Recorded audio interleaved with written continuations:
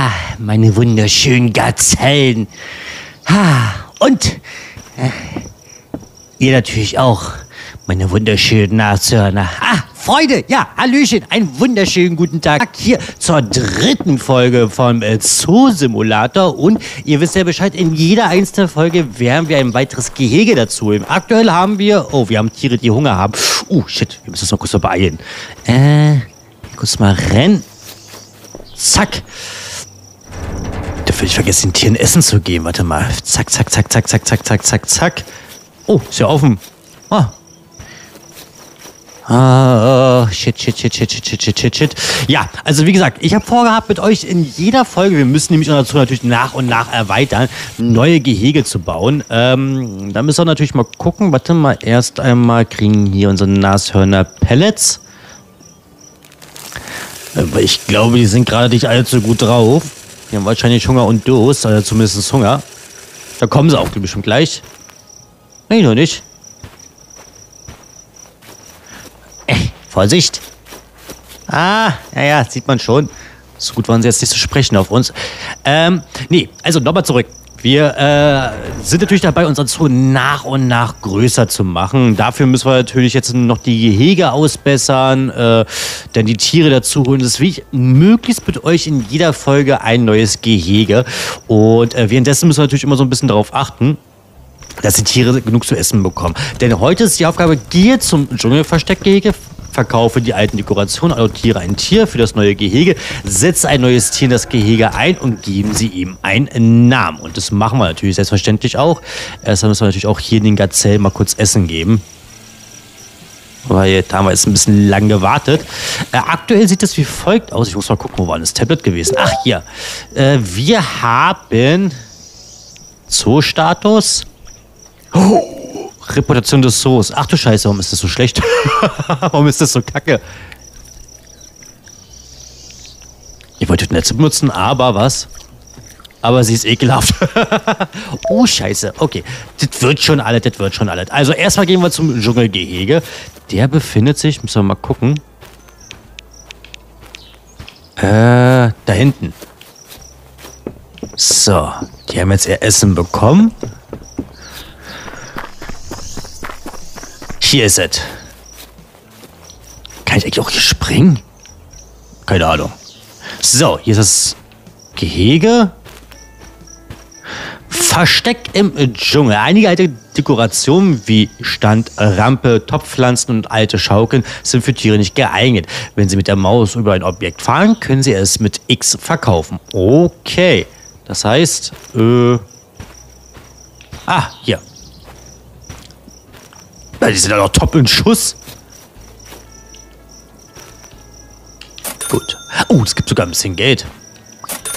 Nicht schlecht. Das müssen wir bestimmt alles nochmal neu eindekorieren. Das machen wir aber, wenn wir die Tiere gesetzt haben. Wir müssen gleich mal gucken. Wir haben so eine kleine Enzyklopädie, ähm, die uns so ein bisschen aufzeigt, was für ein Gehege ist es, was, welches Tier passt da am besten rein. Werden wir mal sehen. Ähm, das kann gut sein, dass vielleicht unsere ersten Raubkatzen hier reinkommen. Das haben wir, genau. Adoptiere ein Tier. Das können wir nur in unserem Büro machen. So, gucken, wie viel Geld ich habe. Ein paar Kunden kamen jetzt in letzter Zeit, haben ein bisschen Geld dagelassen. Ich hoffe, wir haben genug Geld. Dafür können wir nämlich nur hier raufgehen und müssen jetzt, glaube ich, hier Tieradoption. Achso, erst mal ganz kurz. Äh, gehen wir kurz hier rauf und gehen wir auf Enzyklopädie. Und dann müssen wir mal gucken. Zoo-Status. Dschungel. Weitere Angaben. Dschungel, keine Tiere im Auslauf, das ist klar. Peter, Dschungelversteck hat eine schreckliche Dekoration. Ja, du, ich bin doch gerade dabei. Wir konnten hier irgendwo sehen, was das genau beinhaltet, der Dschungel. Steppe. Tiger ist auch Steppe? Okay. Äh, vielleicht könnten wir ja Gorilla holen. Warte mal. Obwohl, eigentlich wird uns immer eigentlich angezeigt, was wir holen können. Ey, irgendwo war das gewesen. Aber egal. Wir gehen erstmal jetzt hier auf alle Optionen. Wir haben das hier. Ganz ein Strauß. Oh, Elefanten. Oder Nilpferde. Obst, Gemüse. Oh, das ist ja cool. Strauß. Brauchen Sträuße Wasser eigentlich nicht, wa? Wasser ist eher schon so für Elefanten, wa? Das ist doch eigentlich. Können wir auch zwei Tiere auf einmal irgendwo reinpacken? Oh, ich habe gar nicht so viel Geld. Wie viel kostet so ein Strauß? Oh, Strauß ist günstiger. Äh. Scheiße, wir müssen mal echt mal gucken. So, Elefant, Elefant, Elefant. Elefant. Bedürfnisse. Mü Wüste, okay. Nilpferd, Steppe und Strauß, auch Steppe. Wow.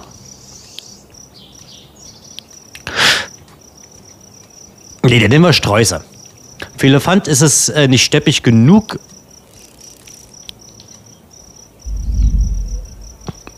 Sag, ich würde einfach mal sagen, packen wir einfach hier hin. Jo. Können wir gleich noch mehrere holen? Adoptieren. Achso, können wir die. Nee, wir müssen erstmal den einen rauslassen. Das war ja hier so gewesen. Da machen wir den mit Sträuße voll, weil ey, Nilpferde brauchen mehr Wasser. Die chillen hier da richtig. So, ja, was geben wir den Strauß für einen Namen? Inge. Prüfen Sie die Meinungen, können wir auch gleich machen, aber ich würde erstmal nochmal hier ein paar adoptieren. Dekoration ausstellen, das ist immer am besten.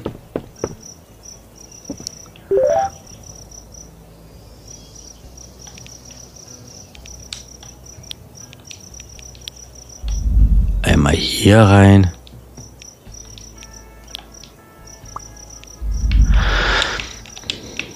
Schön wäre natürlich, wenn wir mehrere gleichzeitig holen könnten, aber gut. Was soll's? Inge.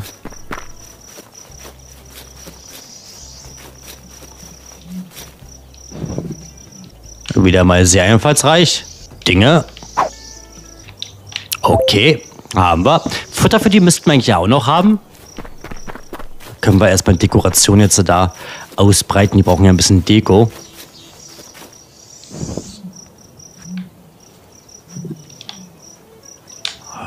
Ringe. ich weiß, ist so doof. Ähm, so, Dekoration. Die wollen einmal eine Hecke. Das kriegen sie. Dann mal rüber nochmal drehen wir so.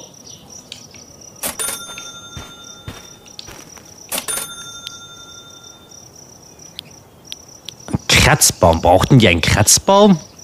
Oh, wir geben ihnen einfach einen Kratzbaum. So.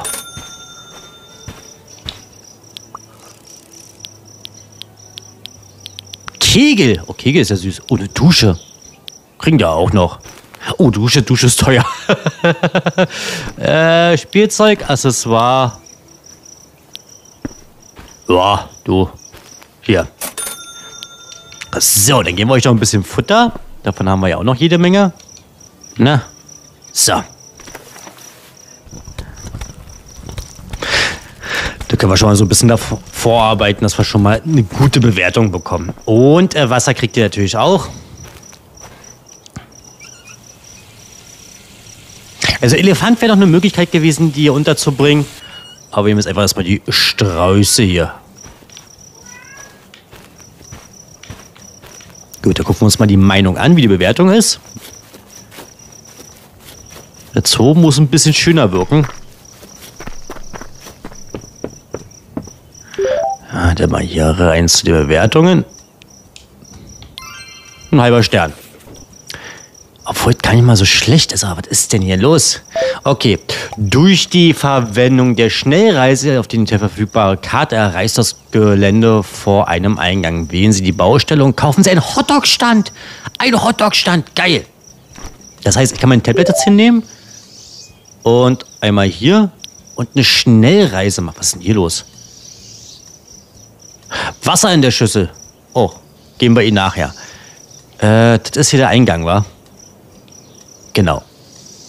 Uh, geil, ein Hotdog-Stand. Nein, nein, das wollte ich gar nicht. Achso, das wollte ich gar nicht kaufen. Hier waren, glaube ich, Hotdog-Stände, war Bau. Ah. Okay, kann ich mir nicht leisten. Gut, dann müssen die Leute erstmal ein bisschen Geld verdienen. Das machen wir gleich mal. Warum ist der so sauer? Hey!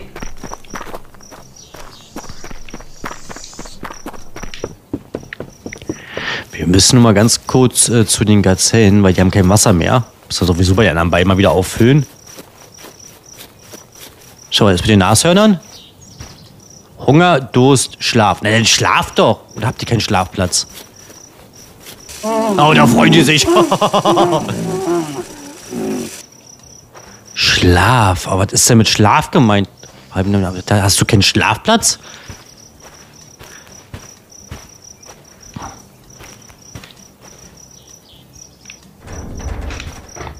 So. Oh, hier sieht es aber auch nicht gut aus. Oh, die müssen aber alle irgendwie mal schlafen. Und dann noch einmal Wasser.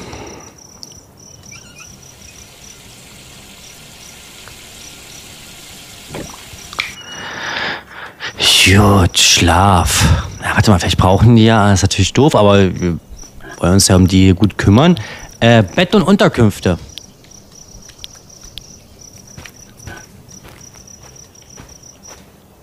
Können wir den hier. So. Mein letztes Hemd für euch ausgegeben, na supi.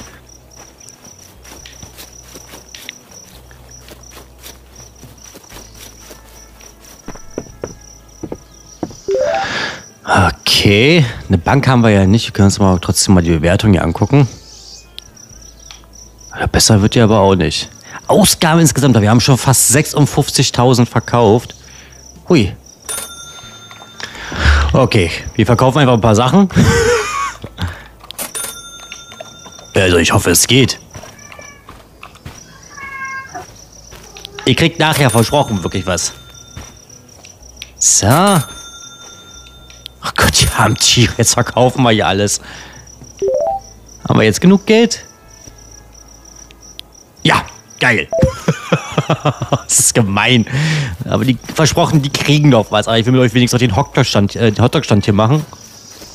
Weil es ja für uns eine gute Einnahmequelle. Und dann haben wir auch das restliche fertig. Den können wir nämlich mal hier basteln. So. Geil. Oh, Hotdog-Verkäufer. Okay, Tablet. Coffee Cup. Genug Geld für einen Verkäufer. Okay, Gärtner, Hotdog-Verkäufer. Uh. Da ist er! Guck mal, hier können wir noch Kaffee kaufen. Was können wir eigentlich alles machen? Ein Souvenirladen. Oh, ein Essensspot. Haben wir so viel Geld? Nö, haben wir nicht. Ah, schön. Kaufen Sie einen Futterautomaten in ein Geschäft, holen Sie Futterspender aus dem Lagerhaus, stellen Sie einen Spender auf den beliebigen Trog, kaufen Sie Futter und füllen Sie den Futterspender. Freunde, das machen wir alles in der nächsten Folge. Ich hoffe hier kommt ein bisschen Geld rein. Äh, wir sehen und hören uns einfach bei der nächsten Folge. Ich kann einfach mal für euch gemeinsam gucken. Also wir haben jetzt aktuell, ähm, ich glaube 1000, ja 429. Wir können ja mal so ein bisschen gucken, wenn wir uns einfach so ein bisschen fortlaufen lassen in der nächsten Folge. Wie viel Geld machen wir ja eigentlich so ein bisschen passiv, ohne viel zu machen? Das machen wir jetzt in der nächsten Folge. Wir sehen und hören uns. Macht's gut. Auf Wiedersehen und Tschüssikowski.